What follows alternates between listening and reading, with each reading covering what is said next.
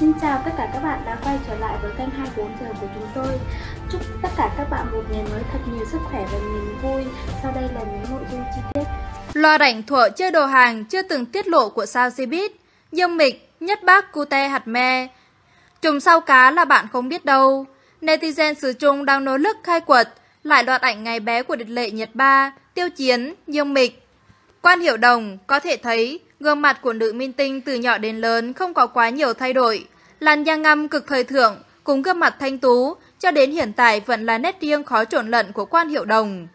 Nếu không chú thích thì hiếm ai nhận ra đây là địch lệ Nhật Ba. Trong hình ảnh này, mỹ nhân Tân Cương không khác nào một cu cậu, từ kiểu tóc, cách ăn mặc, thậm chí là cách tạo dáng. Lớn lên, địch lệ Nhật Ba có vẻ như nữ tính hơn rất nhiều. Ánh mắt to tròn, nụ cười tỏa nắng của Trương Tử Phong như khiến fan hâm mộ tan chảy. Hình ảnh càng trở nên đáng yêu khi có sự hỗ trợ của chú cún. Có thể thấy nhan sắc của mỹ nhân họ Trương sau bao năm vẫn vẹn nguyên. Cô bạn Dương Mịch ươm cánh đồng hoa, lên người. Ngay từ nhỏ vóc dáng của nữ minh tinh đã vô cùng mạnh mai, cánh tay dài thon gọn, đôi mắt to chắc chắn là dấu hiệu nhận biết đầu tiên. Dương Tử tranh thủ trước lúc đi học để chụp một tấm hình kỷ niệm. Thời điểm lúc bấy giờ, gương mặt của nữ minh tinh khá bánh bao, kiểu tóc búi quốc dân khiến ai nấy khi nhìn vào tấm ảnh này đều nhớ về tuổi thơ của mình. Ngay từ nhỏ, Angela Baby đã vô cùng điệu đà và khá thời thượng trong cách ăn mặc. Tuy nhiên đây lại là một trường hợp dạy thi thành công. Tôn Lệ hóa thân thành một vụ công nhí, cách tạo dáng của bà xã đặng siêu vô cùng nghệ. Phạm Băng Băng sở hữu đôi chân mày đẹp, hết nước chấm.